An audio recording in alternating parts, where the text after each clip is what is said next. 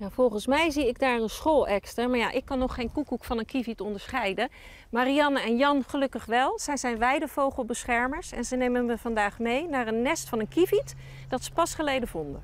De kieviet broedt in Nederland voornamelijk op akkerland. Marianne en Jan zoeken dagelijks de akkers af naar nesten en proberen ze zo goed als het kan te beschermen tegen de werkzaamheden die op het land plaatsvinden.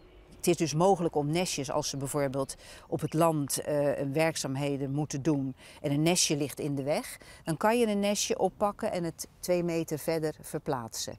En dan, uh, als hij dan klaar is, kun je het weer terugleggen.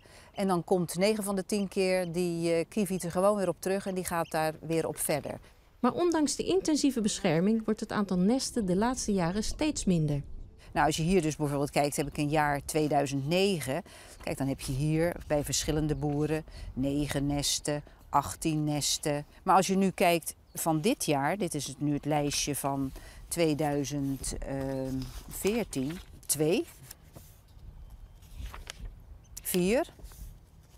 Nou, dat is het. Dit hebben we nu allemaal op land waar er vorig jaar misschien 15, 20 nesten waren, dat er nu twee of drie uh, zijn. En hoe dat komt, is de grote vraag. Het gaat door verstedelijking en intensievere akkerbouw al jaren slechter met de kieviet, maar tegenwoordig is de situatie wel heel zorgwekkend. We krijgen nu toch, uh, ja, zakt ons af en toe de moed in de schoenen, omdat we toch merken dat het steeds maar minder wordt en dat er steeds minder nesten gevonden worden en dus ook minder jongen groot worden. En dat, uh, ja, dat is toch wel, vind ik, erg. Het nest op deze akker is er nog, al is de kieviet die erop hoort te zitten nergens te bekennen. Ik hoor hem wel. De kieviet hoorde ik. Hoe moet het nu verder met de kieviet?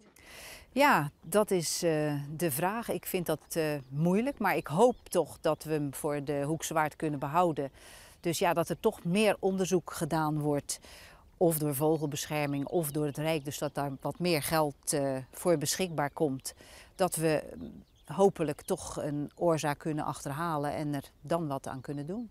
Ja, en tot die tijd blijf jij de vogels beschermen? Uh, ja, ik uh, blijf uh, toch stug doorgaan. En gelukkig zijn er met mij nog een aantal enthousiasten. Maar het wordt wel moeilijker om enthousiast te blijven als, ja, als je heel weinig resultaat hebt.